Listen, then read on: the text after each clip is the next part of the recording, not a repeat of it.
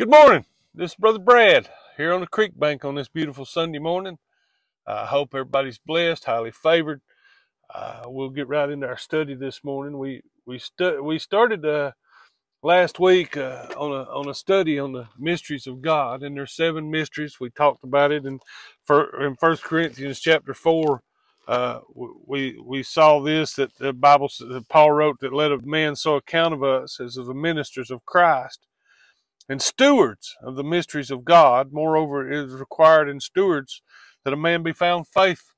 And we, we talked about how we, we are stewards and we've been given a task to uh, by our master uh, and we've been given these uh, mysteries, these words of truth that, that we could uh, learn them and know them uh, and be able to um,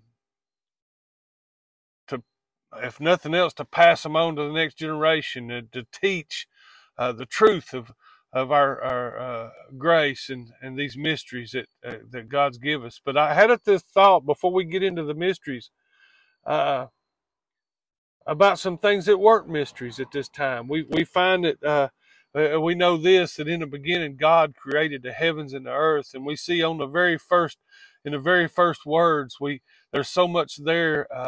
we see a, a, a, an Almighty God, a God that's able to, to create from nothing everything that we see today. And it didn't happen by accident. It didn't happen uh, over billions and billions of years. Uh, it didn't. It didn't just uh, uh evolve into what we have today. But God said, and and God said, "Let there be light," and there was light. And and God created the earth and the fish and the and the animals and, and every living thing and, and created man in his own image. And, and we know that, and we can understand that he is God and, and that everything's according to his purpose. He's a, a almighty God. He's a, he, an omni, omniscient God. He knows everything. He knows the beginning from the end. He, he, he, he, he knows what's going to happen tomorrow. He knows what's going to, what happened, uh, what'll happen a hundred years from now. Uh, he knows everything this morning. He knows every thought that we have. He knows every uh, sin that we've committed. He knows uh, everything we've ever done. He, he knows everything and, and he's in complete control. Can I tell you, God's not up in heaven this morning nervous about what's going on in this world. Uh, he didn't get nervous when he saw the hurricane coming on North Carolina. And let's pray for those in North Carolina. I, it breaks my heart to the, the, the devastation that has come and, and, and we see what happened in Florida this week and uh, more devastation and and we see uh, these things coming to pass uh, just as God said they were. Uh, he, he he told us that in the last days perilous times would come and and that things would uh, that we would see famines and earthquake and pestilence and that all these things would come. We're seeing the things of God. He he knows, like I said, the beginning from the end and and he is uh, he's all powerful this morning. He he's he's able to do uh, things that that that can only be uh, explained by him being God. How do you explain him uh, uh, stopping the waters and separating the waters of the Red Sea so that those um, millions of people could walk through on dry land and then closing it upon the Egyptians and drowning them all? Uh, I, am It's funny because we we so many uh, the skeptics of this day and those that would try to cast doubt on God, and they they want to say that uh, oh he they the, the where they crossed was only three foot deep or only a foot deep, and it was a shadow place. They want to say it's a place of reeds or whatever it is. Whatever they say, it don't matter because even if that were true, which it's not, but but God drowned the whole. Uh, army of Pharaoh in a foot of water? No, he drowned them in the Red Sea, just like the Bible says. And uh, it's funny because archaeologists find stuff that backs up everything God said. Hey, there was a flood. Uh, that that God's wrath was poured out on this world, and and that He did uh, punish the whole world because they were had gotten so wicked, and we're living in a day and a time we're seeing the wickedness abound.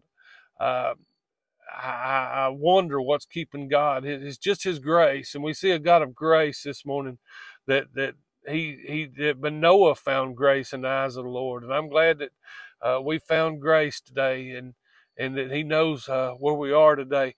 Uh, we could go on and on about these things that weren't mysteries. Uh, his provision, uh, His His protection, how He how He uh, protected Israel from their enemies, and and how He brought them into that land of promise. Hey, He's a God of promise. He that land promised uh, Abraham in Genesis 15. Hey,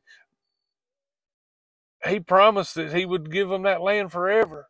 And no matter how many men have tried to, how many countries have tried to destroy it and how long it's been. And, and even though we saw a time when it didn't even look like the nation of Israel even existed, in 1948, they, they reestablished their, uh, their sovereignty over that land and, and, and they became, and hey, there's those, and I've heard this argument that, oh, those that are in Israel, those, those Jews today are, are not of Abraham's seed Hey, and can I tell you, I believe it. There, most probably most of the government and most of the officials and and most of the people that you see in charge are not true Israel. Uh, but there, if there was one, if there was just one that still had that blood of Abraham, that, that DNA of Abraham in his body, that promise is to him. And I'm sure there's more than one. That there's a, there's a few of those that are still there that are still uh, God's chosen people and he does have a plan for them, and, and he will prepare them through the tribulation for the coming Messiah. Hey, there was a promise made. He was a God of promise, and he promised that land. He promised in Genesis 3 that there would be a redemption, and, uh, and that, that one would come, that Messiah that the Israel looked for, for and they're still looking for him, praise God. But but they missed him when he came the first time, but they won't miss him when he comes the second time because the second time he's not coming a virgin born as a baby, but he's coming as the King of Kings and the Lord of Lords. He's coming with power and with glory, and he'll set himself on the Mount of Olives, and it'll split wide open, and he's going to sit on the throne of David in through that eastern gate. And he is God, and those things are not mysteries. We don't understand everything, but they weren't mysteries. They knew, and they knew that there was a God in heaven, and they knew his name was Jehovah, and they knew, and they understood, and, and, and they uh, uh were looking for that promise. Hey, can I tell you, uh, there were some things that aren't a mystery, and that God uh, is sovereign, and he rules in the affairs of men, and rules in the kingdom of men that everything, nothing takes him by surprise, nothing, nothing uh, confuses him, and, and nothing confuses him. Nothing's going to stop his great plan. And I'm just thankful that we serve a God that can be, uh, that was uh, revealed to us through the Scripture. That's not a mystery, and, and and we can we can know for sure that He is God. We can know for sure that He is. And He said this. Uh, and all the people answered together and said, "Oh, wait a minute, that's not the right verse." Ha ha. But anyway, he said, "I am the Lord." He is God this morning, and I'm glad that we can trust Him and uh, know that He is faithful. Occupy till He comes. This is Brother Brad. God bless.